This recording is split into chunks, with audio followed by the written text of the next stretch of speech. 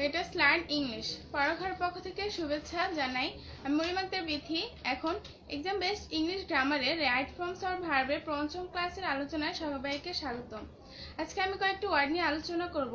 এই ওয়ার্ডগুলো ভার্ব হিসেবে কোনো সেন্টেন্সে বসে এবং ওই সেন্টেন্সে যদি এই ওয়ার্ডগুলোর পরবর্তী কোনো মূল ভার্ব থাকে তাহলে তার সাথে আইএনজি যোগ করতে হয়।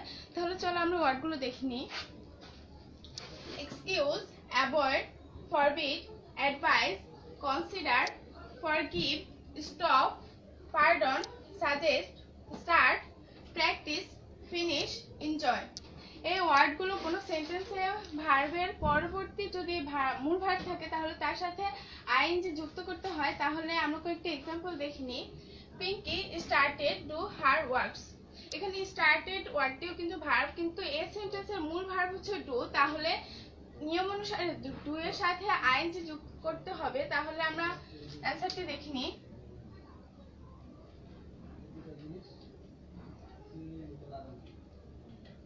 পিঙ্কি স্টার্টেড ডুয়ের সাথে আইএনজি যুক্ত করতে হবে, তাহলে ডুইং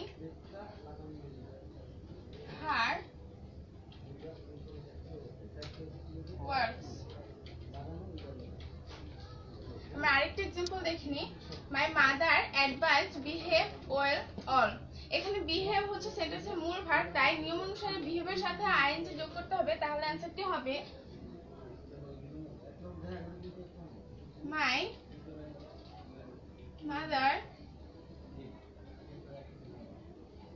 অ্যাডভাইসড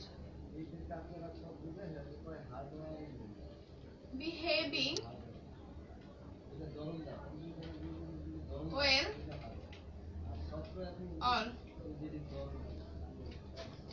আশা করি তোমরা বুঝতে পেরেছ, এই ওয়ার্ডগুলো কোনো সেন্টেন্সের পরবর্তী যদি মূল ভাব থাকে, তার সাথে আইএনজি যোগ করতে হবে।